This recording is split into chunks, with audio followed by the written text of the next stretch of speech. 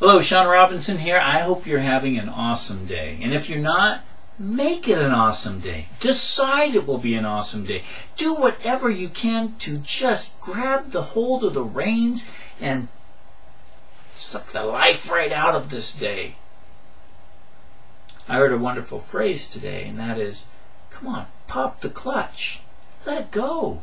What happens when you pop the clutch? Boom, you get the surge of energy. You're going towards something.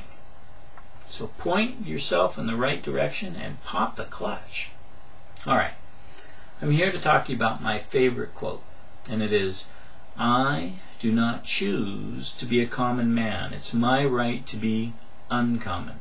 I seek opportunity to develop whatever talents God gave me, not security. I do not wish to be a kept citizen, humbled and doled by having the state look after me. I want to take the calculated risk.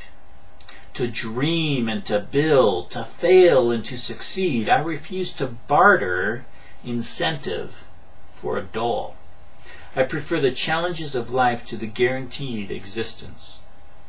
The thrill of fulfillment to the stale calm of utopia.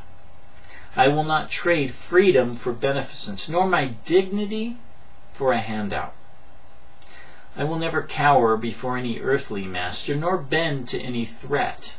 It's my heritage to stand erect, proud and unafraid, to think and act myself, enjoy the benefit of my creations, and to face the world and boldly say, This, with God's help, I have done. This is what it means to be an American. Great quote. I love that quote. And I hope you feel what it can mean for you. You need to make the calculated risk. You need to decide what you want to do with your life. Point yourself in that right direction and go for it. And wonderful things will happen for you. I believe as you do that, things that you just have no idea will happen will be put into your path. And you'll be able to succeed far greater than you ever would have if you made it a half-hearted effort for success. So put your all into it and go for it.